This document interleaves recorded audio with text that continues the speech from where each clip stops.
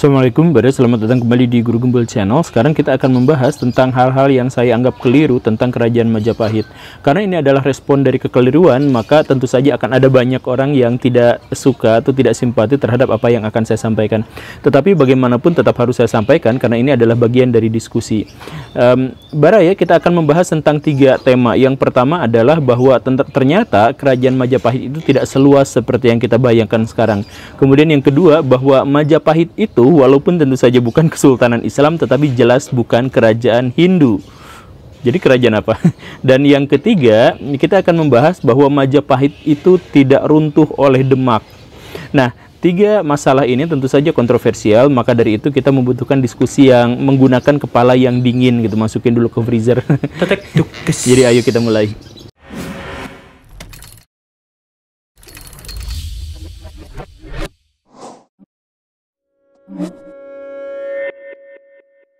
Baraya kita mulai dari tema yang pertama yaitu tentang luas wilayah Majapahit yang diklaim e, meliputi wilayah Nusantara. Klaim itu sesungguhnya pertama kali dicetuskan oleh Muhammad Yamin pada tahun 1945 dalam buku-bukunya yang terkenal yaitu tentang Gajah Mada dan 6000 tahun merah putih.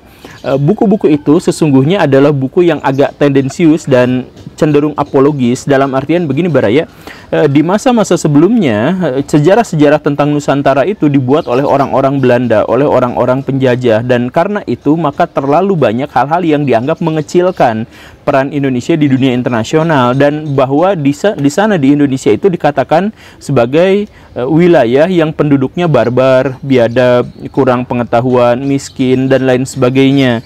Uh, karena ini juga disesuaikan dengan kepentingan-kepentingan pemerintah kolonial untuk membenarkan penjajahannya. Di antaranya seperti itu. Nah, kesal dengan hal yang semacam itu, maka Muhammad Yamin membuat tandingannya. Dan biasanya karena sebuah tandingan, biasanya dia ada di kutub ekstrim yang lain gitu. Jadi Belanda di satu kutub ekstrim dan ini ada di kutub ekstrim yang lain. Uh, dan kita juga mengetahui bahwa buku ini ditulis dengan agak gegabah. Saya mohon maaf, bukan berarti melecehkan Pak Yamin.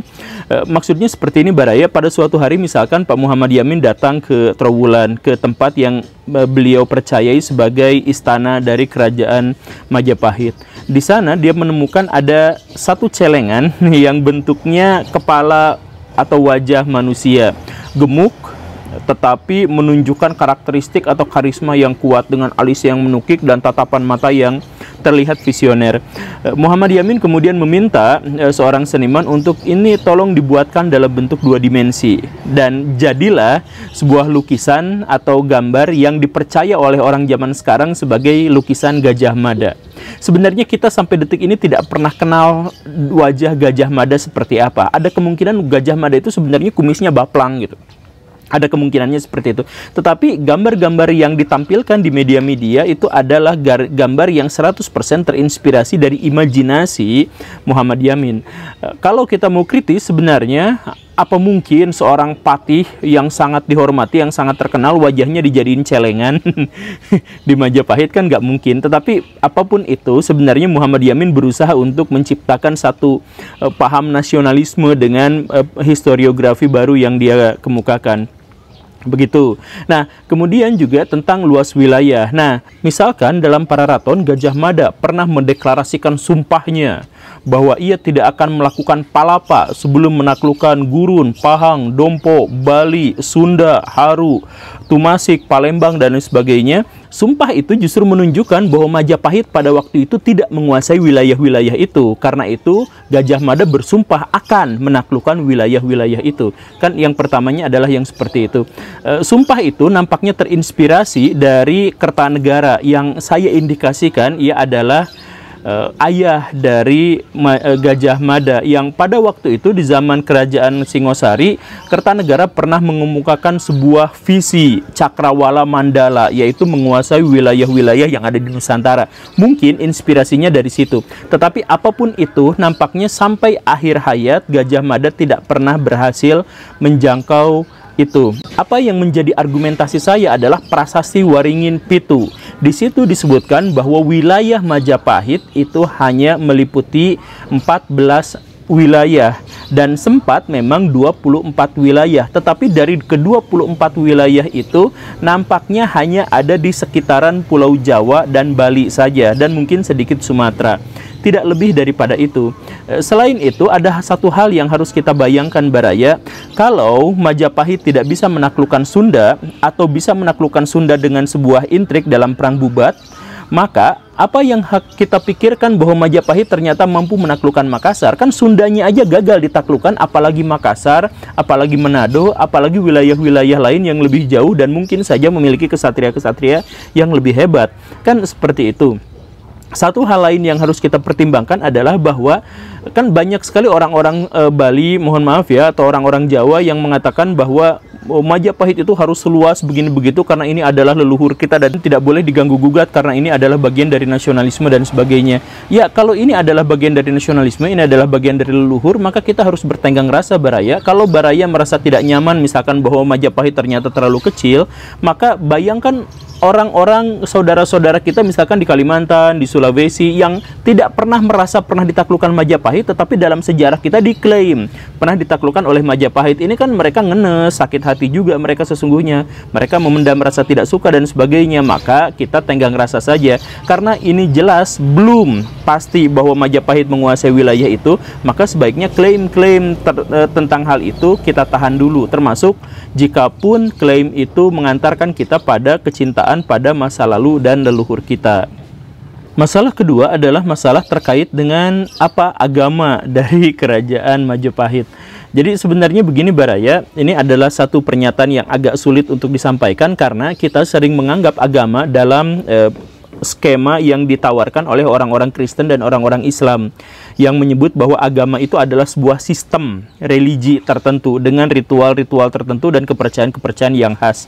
Sesungguhnya orang-orang Hindu itu tidak pernah menganggap agama dengan cara yang sama. Kebanyakan orang Hindu itu menganggap bahwa agama itu adalah sekedar wadah dari dharma dan karena itu agama itu menjadi sangat esoteris, menjadi sangat gaib orang-orang Kapita ya, orang-orang Sunda Buhun, orang-orang Kaharingan itu sama sekali berbeda dengan Hindu yang kita kenal.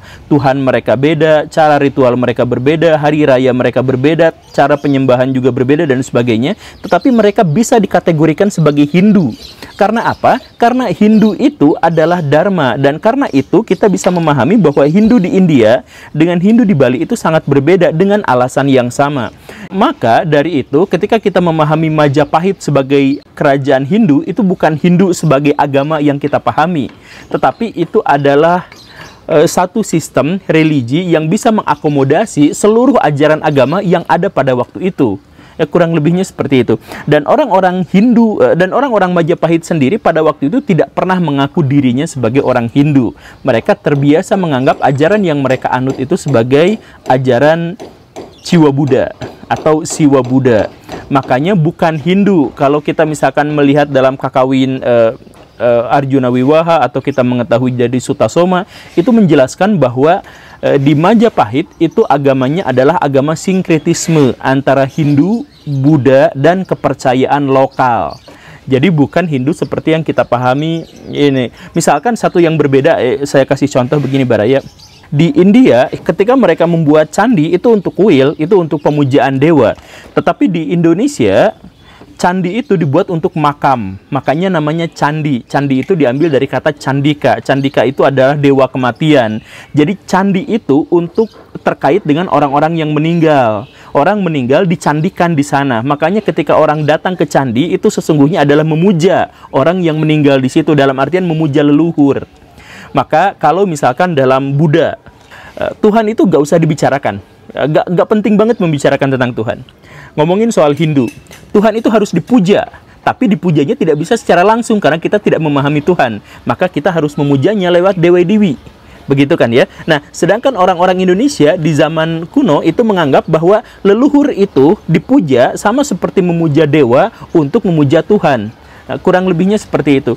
Jadi ini sangat berbeda sesungguhnya dengan Hindu yang kita pahami. Uh, Hindu yang benar-benar Hindu dalam arti sebuah agama yang saklek itu mungkin hanya bertahan di Indonesia selama beberapa abad. Uh, kerajaan Tarumanagara oke okay, mungkin Hindu, uh, kemudian kerajaan Kutai oke okay, mungkin Hindu, kemudian Sanjaya dinasti Sanjaya Hindu atau yang Buddha misalkan Sriwijaya, Kalingga atau Shailendra itu semuanya Buddha ya. Tetapi setelah itu nampaknya ada sinkretisme sehingga kerajaan-kerajaan yang terjadi sesudahnya itu adalah kerajaan yang merupakan percampuran antara Hindu, Buddha dan kepercayaan lokal.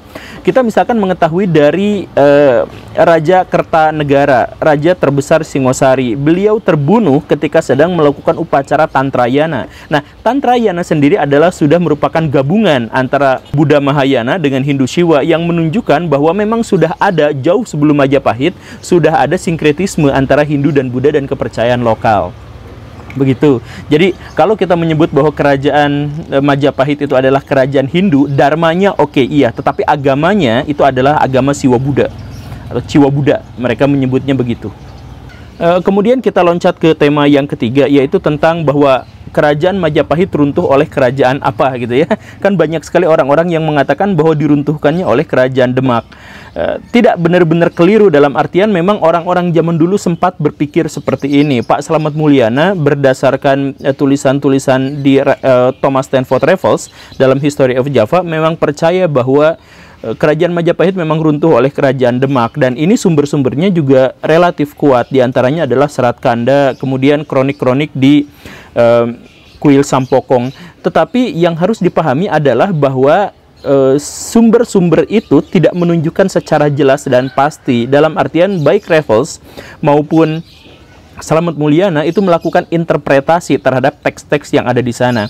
Eh, kebanyakan sejarawan dan akademisi barat, misalkan Pak Feld, eh, kemudian N.J. Krom, itu menyatakan bahwa Majapahit runtuh bukan gara-gara Demak, tetapi gara-gara perang Paregrek. Dan Majapahit masih ada lestari ketika Demak pun ada dan eksis. Pendapat ini juga dipercayai oleh Pak Muhammad Yamin, kemudian Pak Hasan Jafar, ahli e, Majapahit dan lain sebagainya.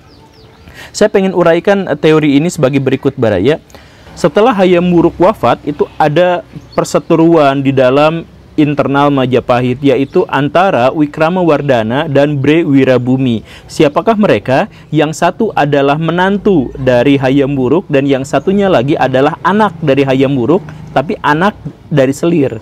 Nah, perseteruan mereka itu panjang, berbelit-belit, dan lama sekali. Sampai akhirnya Wikrama Wardana memenangkan perang melawan Bre Wirabumi. Bre Wirabumi tewas dan kemudian dipenggal, kepalanya kemudian dikebumikan dan dijadikan candi seperti tradisi pada masa itu.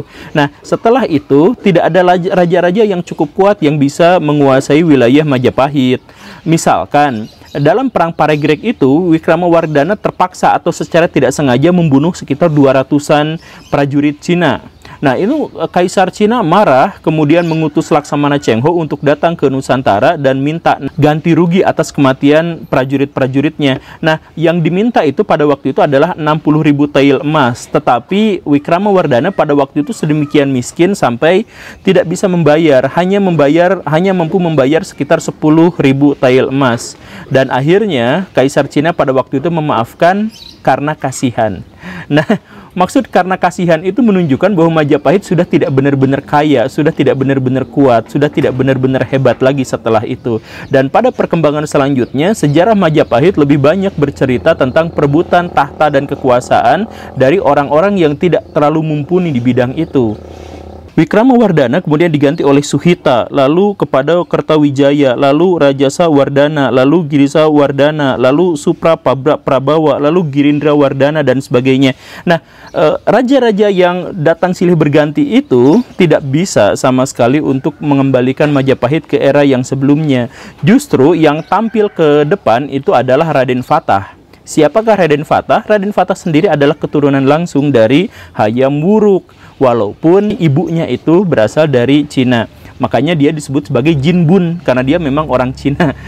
Nah, um, Raden Fatah ini pada waktu itu adalah putra mahkota dari kerajaan Majapahit yang paling kuat. Karena dia mendapat dukungan dari kekaisaran Cina dan dia mendapatkan dukungan dari uh, wilayah-wilayah utara yang dikuasai oleh orang-orang Islam. Nah, ketika um, Raden Patah kemudian berusaha untuk menguasai kembali Majapahit dengan menyerang ayahnya sendiri, maka sesungguhnya itu bukan untuk menjajah atau menaklukkan, tetapi itu berusaha untuk mengembalikan kejayaan Majapahit karena tidak ada lagi raja-raja yang cukup kuat yang bisa mempersatukan wilayah Jawa seperti wilayah Majapahit sebelumnya begitu. Dan kalau Baraya misalkan menganggap bahwa ini adalah eh, konflik antar agama, bahwa kerajaan Islam menundukkan kerajaan Hindu misalkan, asumsi-asumsi yang semacam itu itu adalah asumsi-asumsi yang keliru yang mungkin saja dianut oleh orang-orang yang fanatik. Karena pada faktanya begini Baraya bahwa Raden Fatah itu kebanyakan keluarganya masih Hindu.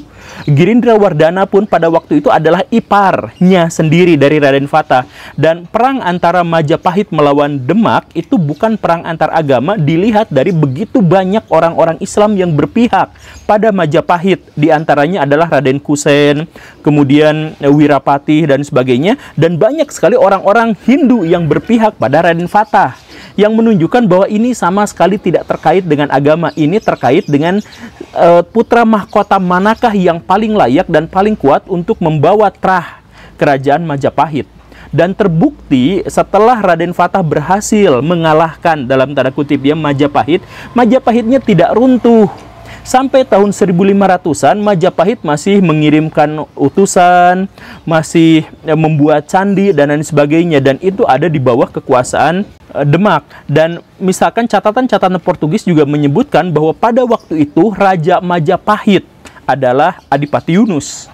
Kan selama ini yang kita pahami adalah bahwa Adipati Yunus atau Pandi Upati Unus atau Pangeran Sabranglor itu adalah raja dari kerajaan Demak, begitu kan? Tetapi pada waktu itu orang-orang sampai kebingungan sampai menyebut bahwa Raja Majapahit juga adalah Pati Yunus yang menunjukkan bahwa Majapahit pada waktu itu eksis tetapi dengan nama lain bernama Demak. Begitu. Jadi Demak bukan meruntuhkan Majapahit tetapi dia yang melestarikan Majapahit walaupun tidak bisa lestari sampai jauh dan e, wibawa kerajaan Demak tidak sebesar kerajaan Majapahit tetapi apa pun itu bahwa Raden Fatah itu adalah orang keturunan dari Majapahit yang memiliki hak atas tahta itu karena dia adalah salah satu putra mahkota. Begitu kurang lebihnya. Oke, okay, Baraya, eh, semoga ini dipahami, eh, semoga tidak menambah kekisruhan tapi malah memberikan pencerahan. Terima kasih karena sudah menyimak. Saya Guru Gembul pamit. Assalamualaikum warahmatullahi wabarakatuh.